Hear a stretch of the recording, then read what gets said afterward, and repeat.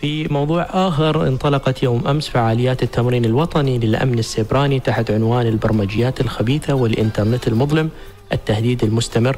راح تستمر إلى يوم غد بإذن الله تعالى. راح نتواصل مباشرة الآن مع الأستاذ هيثم بن هلال الحجري تنفيذي أمن سيبراني بالمركز الوطني للسلامة المعلوماتية. مساك الله بالخير.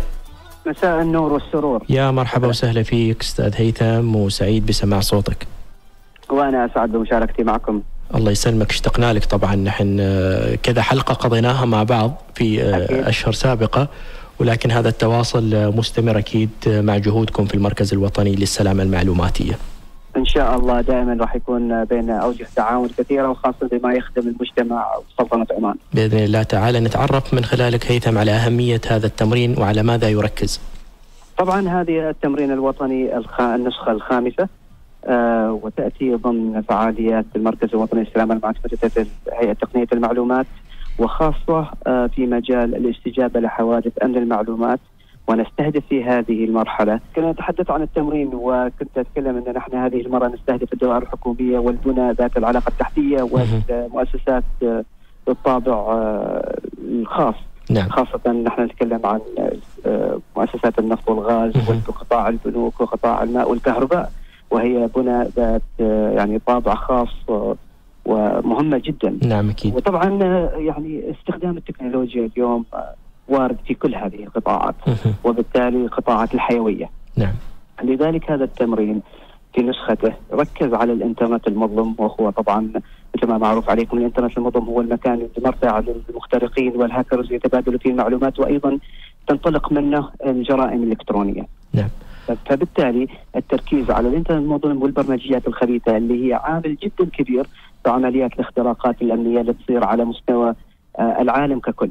نعم. وهذا التمرين آه طبعا اليوم نحن اليوم الثاني آه يستهدف ثلاثة سيناريوهات على يحاكي ثلاثة أنواع من الاختراقات الأمنية العالمية والأشهر في الساحة الهدف منه تقييم الجاهزية لدى المؤسسات الحكومية والأفراد وأيضا آه يعطي مؤشر مدى قابليتهم للتعامل مع هذه الجرائم الإلكترونية نعم. أو الاختراقات الإلكترونية وكيفية الاستجابة الصحيحة والفعالة لما يقع الخطأ.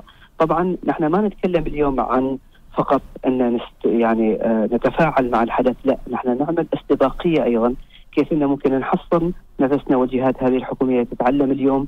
كيف تحصن نفسها ضد هذه الاختراقات في المستقبل. نعم، عندكم أرقام معينة هيثم توضح سواء عدد المحاولات لهجمات إلكترونية على مواقع عمانية حتى المستمع يتعرف طبعا على أهمية وجود مثل هذه التمارين لضمان نعم. الاستعداد التام.